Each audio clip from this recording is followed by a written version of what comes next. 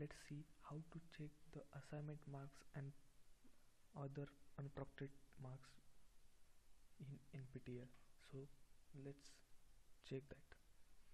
I'm here on NPTEL's login page and here you can enter using sign in and I am signing in in the page. And here you can go to your course select which course assignment marks you want to see. After that here is a progress tab.